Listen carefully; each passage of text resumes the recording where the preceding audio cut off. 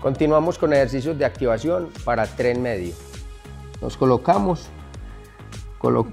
posición, antebrazo, buena posición, punta de pie y vamos a levantar la cadera arriba y abajo, movimientos lentos. ¿sí?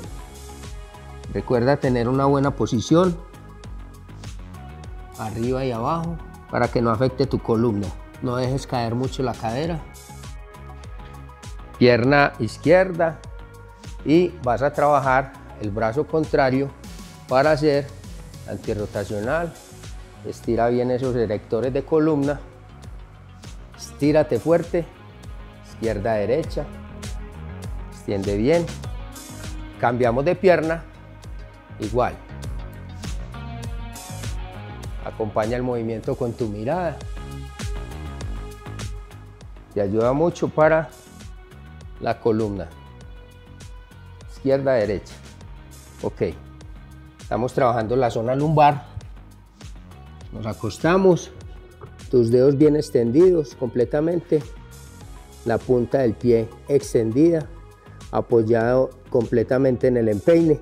Y trabajas brazo derecho, pierna izquierda. Alternado. Uno y uno.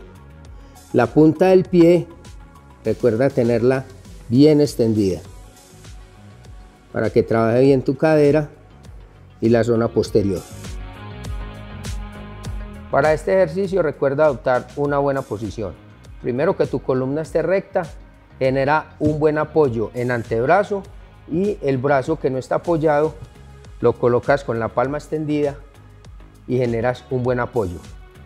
La pierna está encima de la, de, la pierna que está apoyada en el piso, la sacas a un ladito para ejecutar el movimiento y simplemente levantas, ahí vas a sostener o ejecutas el movimiento.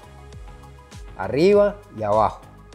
Cuatro series de 15 repeticiones cada una.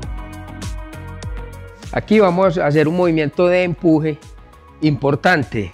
El apoyo va a ser en el talón, ¿sí? Entonces levantamos la punta del pie, brazos arriba, la cadera la levantamos y siempre vamos a hacer un buen movimiento hacia arriba. Tensionamos la cadera en el movimiento que hacemos el empuje. Entonces, tensión de cadera, abdomen, bajo vientre, ¿sí? Y movimientos lentos. Empujo fuerte hacia arriba, bajo lento. Sin dejar caer la cadera. Fuerte, eso es. Recuerda moverte y ponte en línea con la U Digital.